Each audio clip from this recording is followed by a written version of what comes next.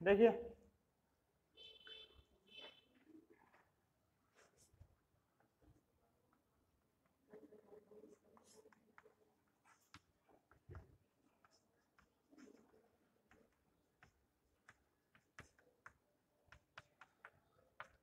सहायक शिक्षक विज्ञान प्रयोगशाला के अंतर्गत आज का हमारा केमिस्ट्री का कौन से नंबर का लेक्चर है? सेकंड है? कौन सा नंबर है? थर्ड नंबर केमिस्ट्री थर्ड इसके पहले दोनों कर लिए हैं केमिस्ट्री देखिए थर्ड लास्ट टाइम हमने जो है आए थे, किसमें आए थे? Niels Bohr and Bury Bohr Bury वाले में आए थे ना? उन्होंने क्या बोला था? हमने लास्ट टाइम ये देखे थे कि उन्होंने बोला था कि जो इलेक्ट्रॉन जो रहेंगे, वो जो जो उनके जो कोष रहेंगे, बाह्यतम कोष और जो अंदर जो कोष, जैसे आप देखोगे सोडियम ठीक है?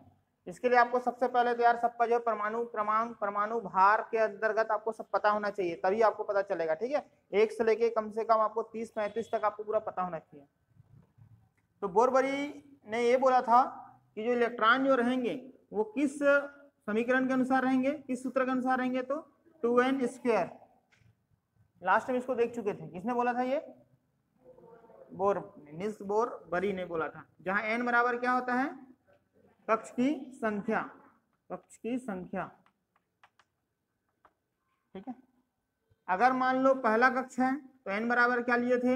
एक। तो अधिकतम इलेक्ट्रॉन कितने हो सकते हैं? दो। एक का वर्ग तो ये हो जाएगा एक का वर्ग एक तो ये हो जाएगा दो। अधिकतम कितने इलेक्ट्रॉन होना चाहिए?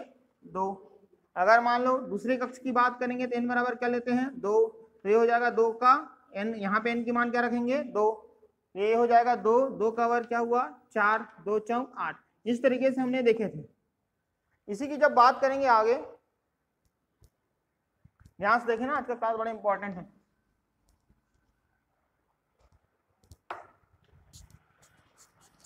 आप बात करो, मान लेते हैं सोडियम की। सोडियम में कितने होते हैं? सोडियम का परमाणु क्रमांक ग्यारह। ये क्या होता है? परमाणु क्रमांक आगे आज ही के क्लास में देखेंगे। जब इसका इलेक्ट्रॉनिक विन्यास करेंगे तो बोरबरी ने ये बोला है कि जब ये सोडियम का जो रहेगा, इसमें पूरा कक्ष तो इसमें जो शुरू वाले में कितना इलेक्ट्रॉन रहेंगे? तो 11 करेंगे तो शुरुआत में कितने रहेंगे? दो। तो ये मान लेते हैं आपका ये दो। फिर उसके बाद वाला, अब ये दो हो गया, तभी आगे बढ़ेंगे ना? पहले जब तक पहला वाले कक्ष को पूरा नहीं कर पाएँगे, तब तक आगे में बढ़ेंगे नहीं। पहला वाले कक्ष में इन्होंने कितना पूरा किया? दो। उसके बाद फिर कहाँ जाएँगे? बाहर अगले वाले कक्ष में। अगले वाले कक्ष में अधिकतम कितने हो सकते हैं? आठ। देखते हैं आठ होगा कि नहीं? एक, दो, तीन, चार, पाँच, छ, सात और ये आठ। तो अभी तक कितने हो गए? दस। और अब कितने की ज़रूरत है? एक। तो फिर अगला वाले कक्ष में कितना रहेगा? एक। तो इस प्रकार से बोरबरी ने ऐसा उन्होंने बोला कि इलेक्ट्रॉनों का वितरण किस प्रकार से होगा, ठीक है? इसी प्रकार जब बात करेंगे, सोडियम अगर आप बात करेंगे मैग्नीशियम का तो मैग्नीशियम का कितने होते हैं? बारह। मैग्नीशियम का इलेक्ट्रॉनिक विन्यास होगा दो, आठ, दो। इसका मतलब जो मैग्नीशियम रहेगा, है ना? उसके पहले वाले कक्ष में कितने रहेंगे? दो। ये बोला है, ये दो। है ना? ये कहाँ तक जाएगा ये? आठ तक जाना चाहिए, है ना? लेकिन मैग्नीशियम के पास, खुद को कितने पास है उनके पास? बारह। तो पहले वाले में कितना रहेगा? दो। अगले वाले में? तो ये हो जाएगा एक, दो, तीन, चार, पाँच, छ, सात, आठ। फिर अगले वाले में कितना रहेगा? दो। इस प्रकार से इन्होंने किसने बोला था ये सब चीज़ बोरबरी ने बोला ठीक है? यहाँ पे एक बात आप देखोगे देखो ध्यान से। हर कोई जितने भी जितने भी आपका तत्व है उसका जो परमाणु होता है वो ये चाहता है अपने आप को स्थायी की ओर प्राप्त करना स्थायित्व पा, पाना चाहता है। और स्थायित्व पाना तब होगा ये स्थायी तब पाएगा जब अपने बाह्यतम कोष में कितना हो उनका इलेक्ट्रॉन आठ। एक जने को बस छोड़ के। बाकी सब में कितना होना चाहिए? आठ। अब यहाँ पे देखोगे, यहाँ पे आठ है क्या? नहीं है। यहाँ पे आठ है क्या? नहीं है। सोडियम के पास कितना है? दो, आठ और एक। अब ये अपना स्थायित्व पाना चाहेगा। तो स्थायित्व पाना चाहेगा तो इसके बाद दो कंडीशन पहला कंडीशन या तो यहाँ पे वो कितना ले बाहर हो, दूसरे से। कितना लेगा तब ये आपका इसका हो जाएगा सात। या तो वो सात लेगा, या तो कितना देगा वो एक देगा। कौन उसके लिए आसान है? एक देना आसान है कि सात लेना? एक देना आसान है, इस कारण ये हो जाएगा एन ए प्लस ये आगे काम आएगा ये सब। आगे पूरा यही सब चीज़ पढ़ेंगे। समझ रहे हैं? आगे आप देखो, मैग्नीशियम देखो। इसमें बताइए, अपना सब कोई चाहता है कि अपना स्थायित्व प्राप्त करें? और स्थायित्व प्राप्त करना है तब जब अपने पूरा अष्टक पूरा हो। ये अष्टक ये अष्टक ये ये तो पूरा हो गया, लेकिन ये भी पूरा करना है। ये पूरा करने के लिए आपको दो है। कितने की ज़रूरत है? कितने की ज़रूरत पड़ेगी? छह की। और अगर वो देना चाहेगा तो कितना देना दे पाएगा? दो। अब दो इनके लिए देना आसान है कि छह लाना आसान है? देना आसान है। इस कारण देना जब आसान रहेगा, इस कारण क्या लिखेंगे? दो देना रहेगा, इस कारण टू प्लस। समझ रहे हो? जिस जो देना रहेगा, जो देते की शक्ति रहती है, उसके ऊपर क्या लगाओगे? प्लस। इसी प्रकार आप बात करोगे एल्यूमिनियम की। एल्यूमिनियम के कितने होते हैं? तेरह। तेरह जब होगा एल्यूमिनियम का तो इसका कैसे इलेक्ट्रॉनिक विन्यास होगा? दो, आठ, तीन। दो, आठ, तीन। इसका ऐसे बना लेंगे आप लोग। ये हाँ दो रहेगा, यहाँ आठ रहेगा, बाहर में दो और एक क्या रहेगा आपका? तीन। अब इसका इलेक्ट्रॉन ये भी अपना अष्टक पूरा करना चाहेगा। तो इनके लिए क्या आसान है? या पाँच, ये पाँच क्या करेगा? या तो लेगा, या तो तीन देगा, या तो पाँच लेगा तो अष्टक पूरा होगा, या तो तीन दे देगा तो ये अपना ऑलरेडी अष्टक में रहेगा। तो यहाँ पे आप देखोगे कितना कौन सा आसान है? देना आसान है। देना आसान है। कितना देना आसान रहेगा? तीन। इस कारण क्या हो जाएगा ये? तीन प्लस समझ में आया? ये आगे हम इसको जब करेंगे, आगे जब बात करते हैं, जैसे मान लेते हैं क्लोरीन क्लोरीन का जो परमाणु क्रमांक होता है कितना? सत्रह। क्लोरीन का परमाणु क्रमांक कितना होता है? सत्रह। क्लोरीन की जब बात करोगे तो इसका इलेक्ट्रॉनिक विन्यास करोगे तो आपको क्या मिलेगा? दो। फिर आठ। फिर दो, आठ। कितना हो गया? दस। और कितने की ज़रूरत है? और कितना हो गया? सात। मतलब सत्रह है मतलब दो, आठ, सात। ये भी अपना अष्टक पूरा करना चाहेगा। अब अष्टक पूरा करना चाहेगा तो बताइए आप, ये या तो ये इसको कितना चाहिए? एक चाहिए। या तो कितना देना चाहेगा वो? सात। इनके लिए एक लेना आसान है कि सात देना? लेना आसान है। लेना आसान है, वो भी कितना? एक। एक लेना आसान है इस कारण इसमें एक माइनस लगेगा यहाँ पे देना आसान था इस कारण प्लस प्लस दे रहे हैं मतलब उनके पास देने की शक्ति है, उनके पास भरपूर है तो वो देना है मतलब प्लस प्लस में है वो। और ये जो है ऑलरेडी वो जो है माइनस में है, उनको एक लेना है तो ये ले माइनस देखो, अगर सीएल बस है तो इसका मतलब वो अभी पूरा नहीं हुआ है। सीएल माइनस हो गया मतलब उनके अष्टक क्या हो गए हैं? पूरा हो गया ठीक है? तो ये सब चीज़ जो आप देखोगे इलेक्ट्रॉनिक विन्यास किसने दिया था तो? नील्स बोरबरी ने दिया था, ठीक है? आगे देखेंगे, मिटा दें इसको। ये आगे सब बॉन्ड में सब काम आएगा ना आगे?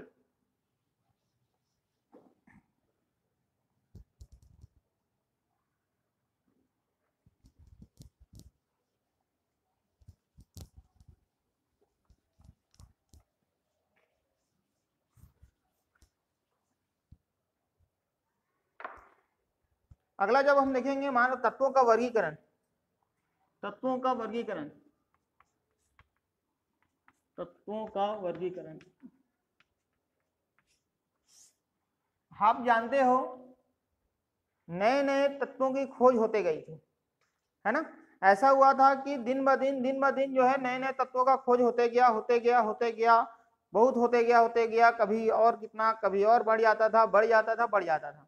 तो याद, हमेशा याद रखना, खोजना आसान नहीं है। खोजना खोज लिए। उसको लेकिन क्या करना आसान कठिन है, उनको रखना। आप मान लो कोई जगह से आप सामान लेके ला रहे हो तो सामान लेना आसान नहीं है। उसको एक जगह से क्या रखना, संयोजित करके रखना, वो बड़ा कठिन होता है। तो तत्वों को जो है, एक विशेष प्रकार के इसको रखना चाहिए। तो इनमें जो है, दो लोगों ने जो है, अपना एक दिया था, जिसके आधार पर तत्वों को रखा गया यही दो जो है, अप्रूव हुए। पहला एक क्या? मैंडलिफ का आवर्त सारणी। किसका? मैंडलीफ का आवर्त सारणी। ठीक है? पहला मैंडलीफ का आवर्त सारणी। और दूसरा जो है, किसने किया था तो? मोजले साहब का आवर्त सारणी। मोजले का आवर्त सारणी। इसी को आधुनिक आवर्त सारणी बोलते हैं।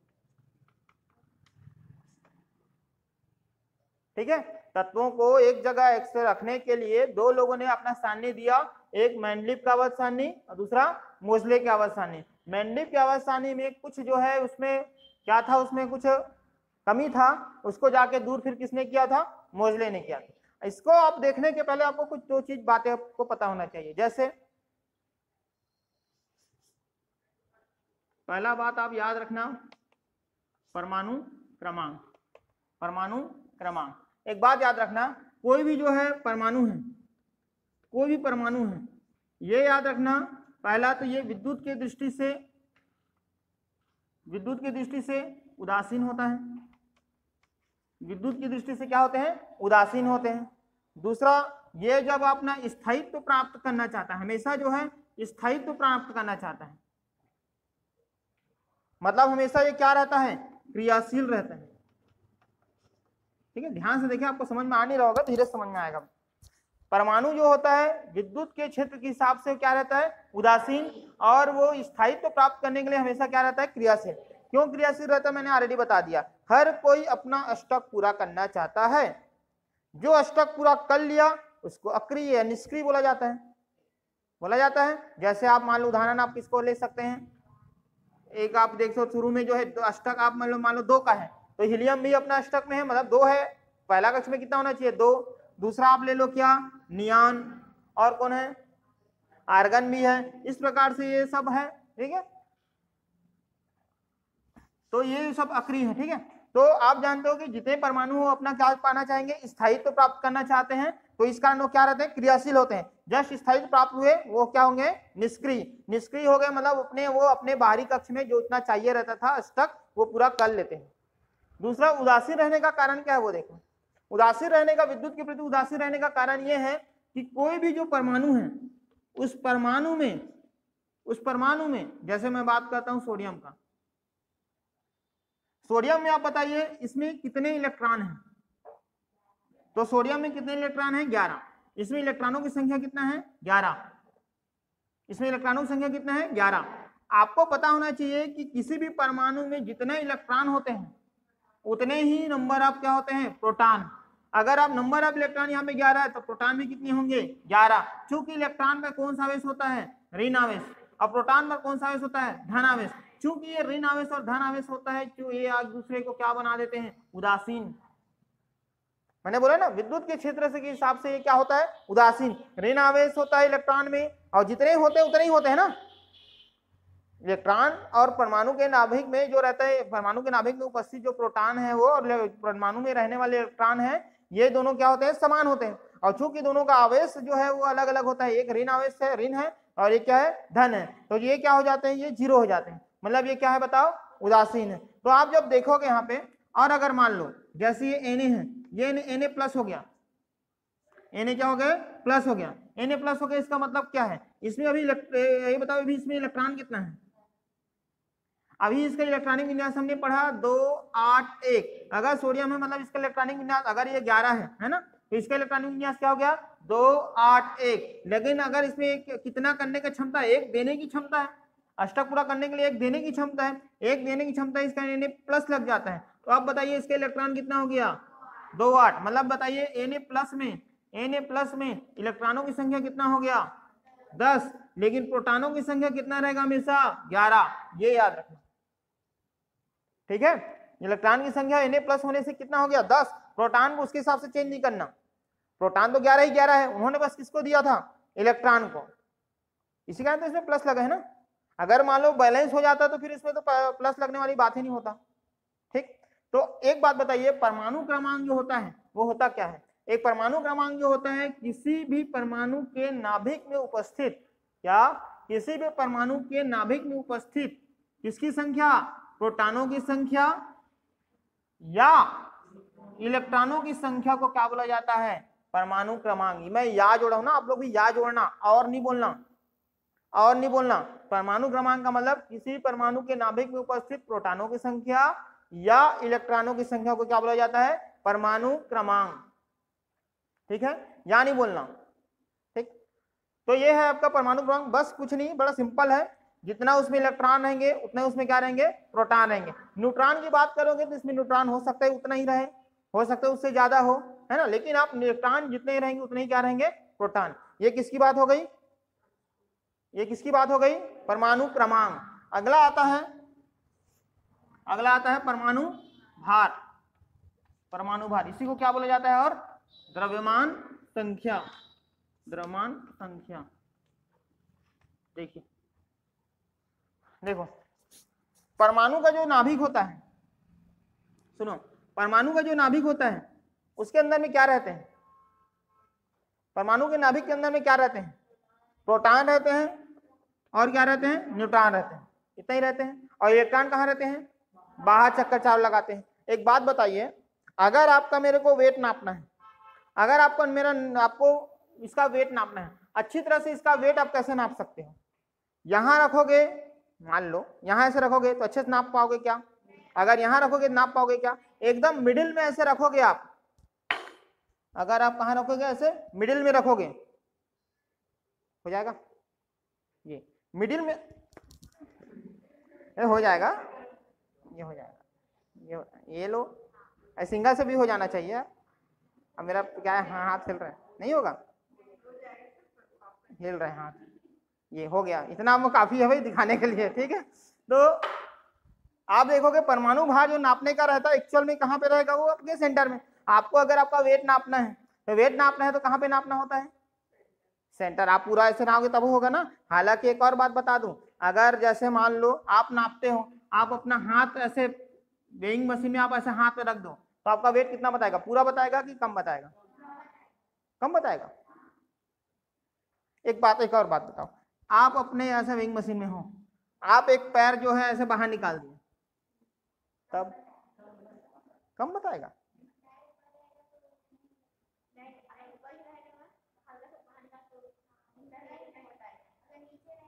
नीचे नहीं बोल रहा हूँ। बा, बाहर वो जो ऊपर में है ऐसा मैं नीचे पैर में नहीं रखने नहीं बोल रहा हूँ।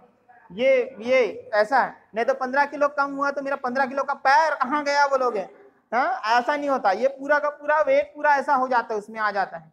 ठीक है? तो इतना याद रखना, परमाणु भार जो है, उसके परमाणु के अंदर में जो रहता है, वो क्या होता है? प्रोटॉन होते हैं और क्या होते हैं? न्यूट्रॉन होते हैं। तो हमेशा जो परमाणु भार जब नापेंगे तो किसको मापेंगे? परमाणु के नाभिक में उपस्थित प्रोटॉनों की संख्या और न्यूट्रॉनों की संख्या के योग को ही क्या बोला जाता है? परमाणु भार। याद रहेगा? किसी परमाणु के नाभिक में उपस्थित प्रोटानों की संख्या और न्यूट्रॉनों की संख्या के योग को क्या बोला जाएगा? परमाणु भार या द्रव्यमान संख्या। इलेक्ट्रॉन को नहीं लेने का कारण यह भी है कि, कि वो बाहर में चक्कर लगाते रहते हैं और हमेशा याद रखना जो चक्कर लगाते रहते हैं या जो घूमते रहते हैं उसका जो वेट जो रहेगा वज़न वो हमेशा कम रहता है। जो चक्कर लगाया मतलब उसका वेट कम होता है। उदाहरण आप देख सकते हो जैसे देख लो।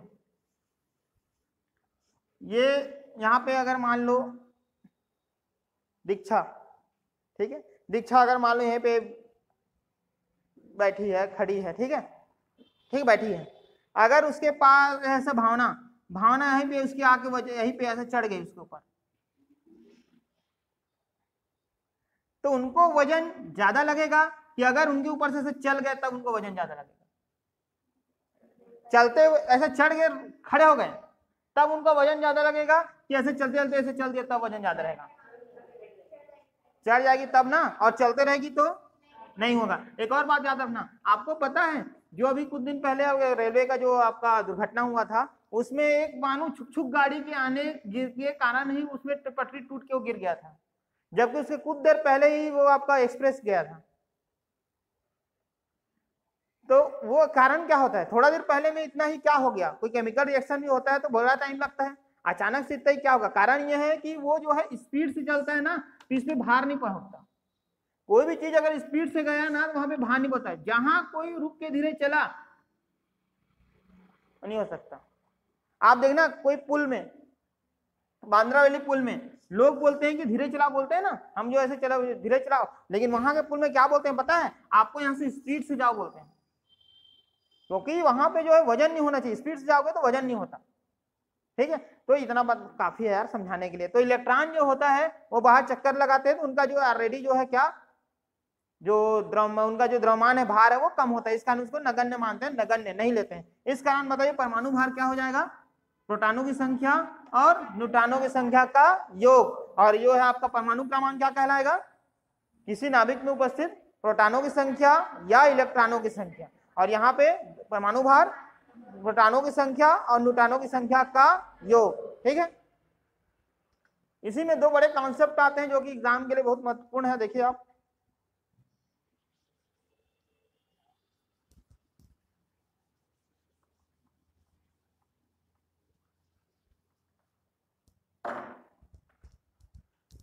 एक है समस्थानिक। सुने होंगे आपने आइसोटोप है ना? समस्थानिक नाम से समझ में आ रहा है क्या? सम स्थान। क्या? सम स्थान। स्थान। सम स्थान। इसमें क्या होते हैं वो आप देखो। समस्थानिक में जो होते हैं, और इसी के आधार पर जो है मोदे साहब ने किया था।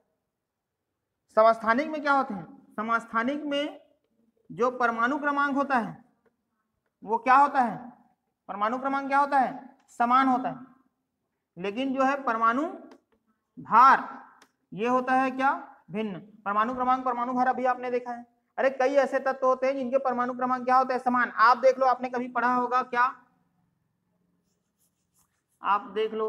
एक और बात सबसे ज़्यादा जो आता है एग्ज़ाम में सबसे ज़्यादा समस्थानिक किसके हैं? तो हमेशा याद रखना सबसे ज़्यादा समस्थानिक जो है वो पोलोनियम के पीओ के। पोलोनियम के लगभग सक, उसका सत्ताईस समस्थानिक है। पोलोनियम के सत्ताईस समस्थानिक है। ठीक है, ये बहुत बार आ चुका है एग्ज़ाम में। पोलोनियम के जो है, सत्ताईस समस्थानिक है पोलोनियम जो है, मानव निर्मित पहला तत्व है। पोलोनियम और इसका जो आविष्कार किया था, वो किया था मैडम क्यूरी ने। Madam Curie. मैडम क्यूरी ने। ये खुद कहाँ की निवासी है मैडम क्यूरी? तो पोलैंड की निवासी। पोलैंड। इसी कारण आप देख सकते हो ना, पोलैंड से ये पोलैंड पियो इन्होंने नाम रखा क्या? पोलोनियम पियो ठीक है? पोलैंड की निवासी है ये। Poland madam Curie. वो पोलैंड जो है, आप प्रतीक, आप देख लो, पीओ तो यहीं से आपका पोलोनियम का पियो सबसे ज़्यादा कितने समस्थानिक इसके? सत्ताईस। तो समस्थानिक में क्या होता है? जिनमें परमाणु क्रमांक आपने पढ़ा होगा यूरेनियम। पढ़े हो? यूरेनियम का कितना होता है? यूरेनियम का परमाणु क्रमांक? यूरेनियम का परमाणु क्रमांक? बयानबे यूरेनियम का बयानबे और इसका जो परमाणु भार जो रहता है वो इधर आप देखोगे तो 235 और और दो ऐसा रहता है। तो यहाँ पे आप देखोगे इनका जो है, ये ये क्या बताता है? ये वाला अक्षर जो रहेगा, वो क्या बताता है? परमाणु क्रमांक। और ये वाला जो बताता है क्या बताया परमाणु भार। ठीक है? सबसे ज़्यादा बहुचर्चित कौन है? देखो, इसको भी यूरेनियम है, ये भी यूरेनियम बोलेंगे। इसको भी क्या बोलेंगे? यूरेनियम इसको भी क्या बोलेंगे? यूरेनियम एक क्वेश्चन आता है एग्ज़ाम में। कि ऐसा किसका समस्थानिक है? जिनके जितने समस्थानिक है, उनका अलग अलग नाम है। क्या बोला मैंने? ऐसा कौन सा जो है तत्व है, जिनका जो समस्थानिक जितने हैं, उनके अलग अलग नाम है? यहाँ तो आप यूरेनियम इसको भी बोलोगे, इसको भी यूरेनियम बोलोगे। लेकिन उसमें क्या होता है, देखो आप तो किसके हैं? तो याद रखना आप हाइड्रोजन के। हाइड्रोजन के कितने समस्थानिक? तो तीन समस्थानिक। हाइड्रोजन के कितने समस्थानिक? तीन। देखो one H one one H two one H three यह हाइड्रोजन हाइड्रोजन हाइड्रोजन परमाणु क्रमांक नीचे को बोलते हैं तो देखो सबका परमाणु क्रमांक क्या है? समान। परमाणु क्रमांक सबका क्या है जी? समान। ये पता है ना आपको? ये होता है परमाणु क्रमांक और ये होता है परमाणु भार तो देखो सबका परमाणु क्रमांक क्या है? समान। और यहाँ पे परमाणु भार क्या है? अलग। अगर वन एच वन हुआ तो यहाँ बताइए, प्रोटॉन, इलेक्ट्रॉनों की संख्या कितना है बताओ आप? इलेक्ट्रॉनों की संख्या कितना है यहाँ पे? वन दिख रहा है परमाणु क्रमांक है मतलब। और परमाणु क्रम में आपने देखा कि जितना इलेक्ट्रॉन होंगे, उतना ही क्या होंगे? प्रोटॉन। तो प्रोटॉनों की संख्या कितना होंगे? एक। अब आप बताइए, इसमें न्यूट्रॉन कितने होंगे? आपने परमाणु भार पढ़ा है। परमाणु भार होता है, किसका, इसका योग होता है? प्रोटॉन और न्यूट्रॉन। क्योंकि प्रोटॉन एक है, अगर न्यूट्रॉन यहाँ एक रख दोगे तो एक और एक दो हो जाएगा। लेकिन जब तक यहाँ पे परमाणु भार ऑलरेडी क्या है? एक। इस कारण न्यूट्रॉन कितना होगा? ज़ीरो। तो आपको पता है ना, परमाणु भार प्रोटॉन और न्यूट्रॉन के योग को बोलते हैं। अरे यार, देखो ना, इलेक्ट्रॉन और प्रोटॉन की संख्या को बोला जाता है क्या, परमाणु क्रमांक? और परमाणु भार जो बोला जाता है, वो प्रोटॉन और न्यूट्रॉन के योग को बोला जाता है। तो एक और शून्य करोगे तो यहाँ पे एक आया। यहाँ पे बताइए, इलेक्ट्रॉनों की संख्या कितना होगा? परमाणु क्रमांक यहाँ एक है। और परमाणु क्रमांक में क्या होता है? प्रोटॉनों की संख्या इलेक्ट्रॉनों की संख्या बराबर होता है। ई e बराबर एक होगा, इलेक्ट्रॉन, प्रोटॉन भी कितना होगा? एक होगा। न्यूट्रॉन कितना होगा? न्यूट्रॉन कितना होगा?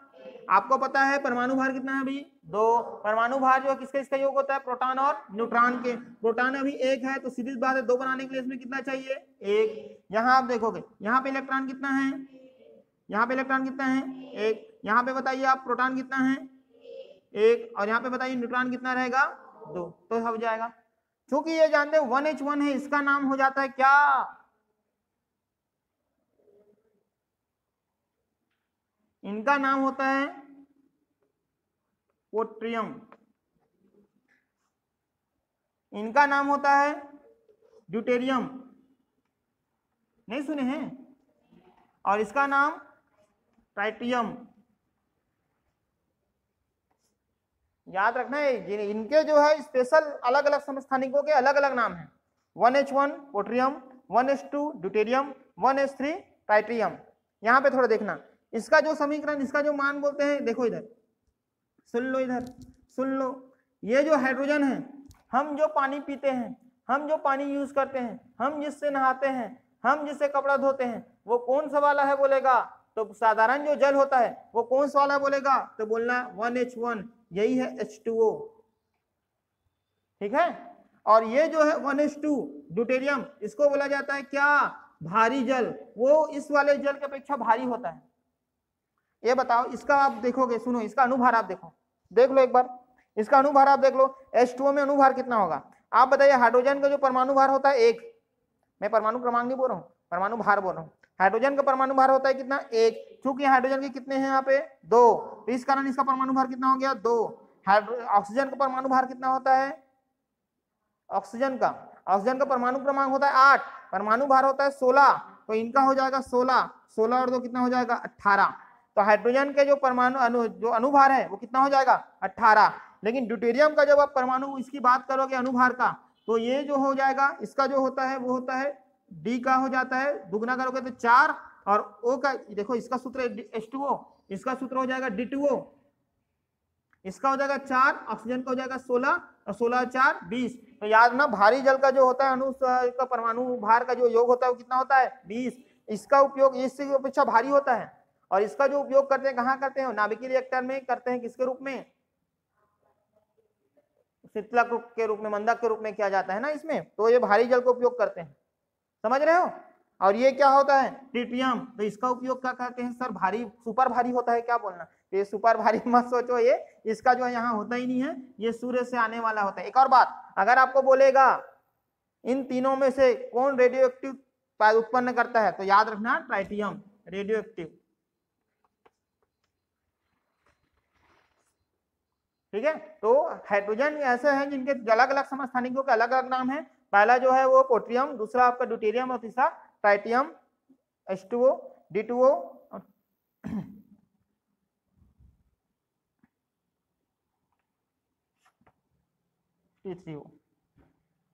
मिटा दी इसको।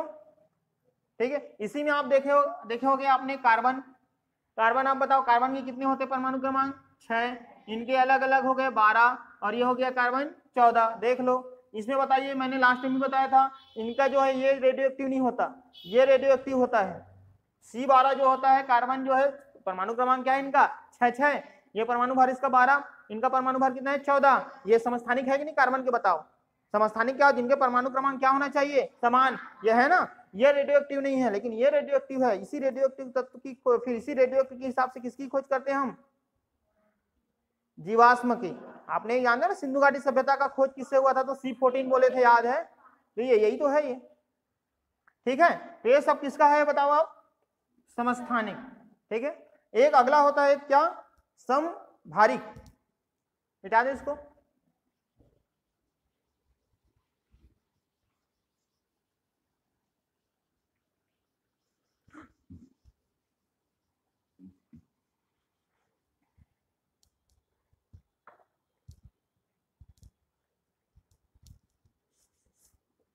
उसमें समस्थानिक में जब आप सम, समस्थानिक में आप देखोगे, नाम से समझ में आ रहा था, सम क्या स्थान। इसमें समभारिक में नाम समझ में आ रहा है, सम क्या भार। इसका मतलब इसका क्या समान रहेगा?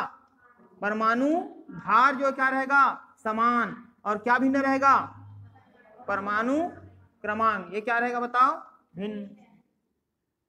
जैसे कि आप जानते हो, आप बताओ, पोटेशियम, कैल्शियम। पोटेशियम का जो होता है, परमाणु क्रमांक कितना होता है? 19 और कैल्शियम का कितना होता है? 20 इसका जो परमाणु भार होता है 40 इसका भी परमाणु भार कितना होता है? 40 इसका भी कितना है? 40 ये भी 40 इसका परमाणु क्रमांक परमाणु क्रमांक 19 इसका परमाणु क्रमांक 20 क्योंकि इनके जो है, क्या बल समान है? क्या समान है? परमाणु भार। इस कारण जो है, ये क्या कहलाएँगे बताओ? समभार समझ में आया ना? भाई एक होता है सम इलेक्ट्रॉनिक। सम इलेक्ट्रॉनिक। सम इलेक्ट्रॉनिक मतलब नाम से समझ में आ रहा है, क्या? जिनका इलेक्ट्रॉनों की संख्या क्या हो? समान हो। जैसे बताओ आप, नियान। नियान। नियान में बताइए, नियान का जब इलेक्ट्रॉनिक विन्यास, नियान का परमाणु क्रमांक कितना होता है? दस। इनका जब इलेक्ट्रॉनिक विन्यास करोगे तो क्या होगा? दो और आठ। दो और आठ। इसके बाद आप बात करो, मान लो सोडियम का। तो सोडियम का कितना होता है? ग्यारह। ग्यारह मतलब दो आठ, एक। सोडियम का कितना होता है? ग्यारह। मतलब दो, आठ, एक। लेकिन अगर ये इलेक्ट्रॉन अपना त्याग दे, एक इलेक्ट्रॉन त्याग दे तो ये क्या हो जाएगा? N A plus last time बताया था, याद है? एन ए प्लस एक इलेक्ट्रॉन त्याग गया। अब इसके लिए बाहरी कोष में कितने इलेक्ट्रॉन हो गए? दो और आठ। दो और आठ। अगर आप बात करेंगे मैग्नीशियम का मैग्नीशियम का कितना होता है? बारह। इसका इलेक्ट्रॉनिक विन्यास करेंगे तो दो, आठ, दो। अगर ये बताइए अपना दो इलेक्ट्रॉन को त्याग दे। तो ये कितना हो जाएगा इसका? दो, आठ मतलब ये हो जाएगा एम जी टू प्लस। इसी की बात करेंगे आप, एल्यूमिनियम। एल्यूमिनियम का कितना होता है? तेरह। इसका हो जाएगा दो, आठ, तीन। मतलब एल्यूमिनियम को कितना क्या त्याग करेगा? तीन। तो तीन त्याग कर देगा तो इसका भी बाहरी इलेक्ट्रॉन कितना हो जाएगा? आठ। तो मतलब आप देख रहे हो कि ये सब का बाहरी इलेक्ट्रॉन कितना हो रहा है? सबका आठ। इस कारण सब क्या है? सम इलेक्ट्रॉन। ठीक है? तो आज का इतना ही। अगला जो आपका टॉपिक रहेगा, वो रहेगा केमिकल बॉन्ड केमिकल बॉन्ड रासायनिक बंद, ठीक है? तो हम आगे करेंगे पूरा जो ज्ञान प्रयोगशाला का पूरा चैप्टर कोशिश करेंगे कि पूरा कंप्लीट करने का, ठीक है?